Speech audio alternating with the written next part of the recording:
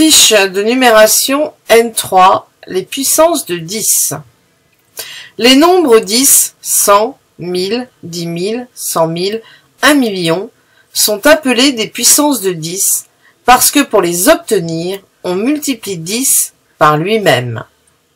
Pour obtenir les puissances du 10, il suffit de compter les zéros pour trouver l'exposant. 10 est égal à 10 puissance 1. 100 est égal à 10 fois 10 et donc égal à 10 puissance 2.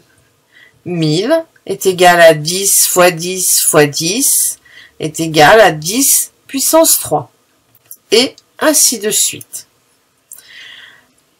10 fois 10 fois 10 égale 1000. On écrit 10 puissance 3. Le 3 est appelé l'exposant. Et on lit 10 puissance 3. Pour décomposer un nombre entier, on peut le décomposer par classe. Par exemple, le nombre 40 395 est égal à 40 000 plus 395. Ou encore 40 fois 1000 plus 395. On peut également l'écrire à l'aide des puissances de 10.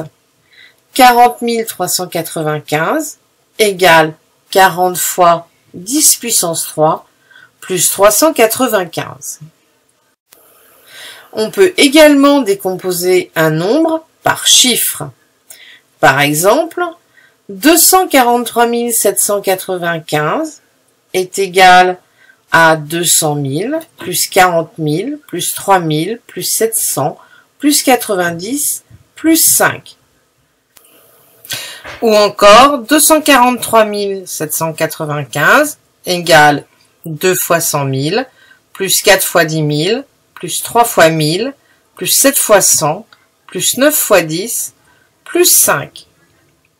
Et en puissance de 10, 243 795 égale 2 fois 10 puissance 5 plus 4 fois 10 puissance 4 plus 3 fois 10 puissance 3 plus 7 fois 10 puissance 2 plus 9 fois 10 puissance 1 plus 5.